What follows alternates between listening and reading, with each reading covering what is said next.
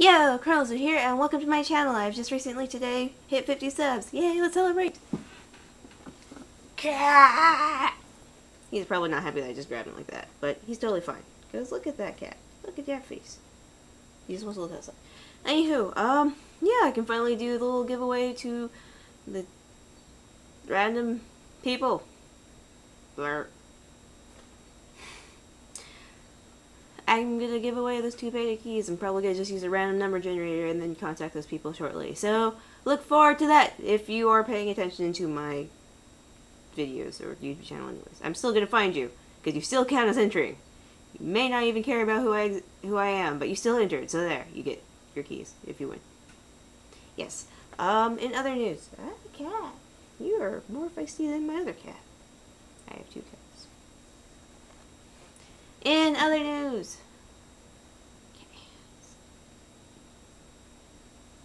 in other news, um, I do plan on playing some Crypt of the ne or Necrodancer at some point because they did their full launch recently, so that'd be cool. Um, yeah, yeah, and what else?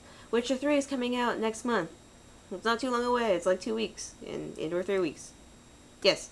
Um, I'm most likely going to do an unboxing of the collector's edition with a little pre-order bonus from GameStop. So that'd be fun. And I will most likely play a bit of it. But I'm pretty sure it's a pretty pretty intense and maybe personal game, so I'm not sure. Um, I do plan on also playing some Starbound because they've done some updates recently. And the last time I played it was like when it was in alpha. You want to be free? Yeah, you do. Okay, be free! That took you a while. Other cat!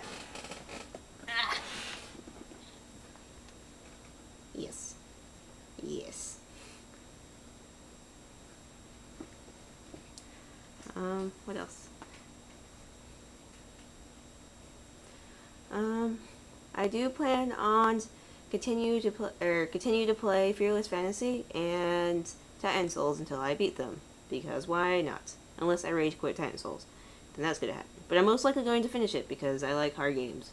For some reason, there's something about me and punishing games, right? Yeah. Um, yeah. Thank you all. Thank you all for the support. And hopefully I'll see you in the next one. Okay, thanks, bye!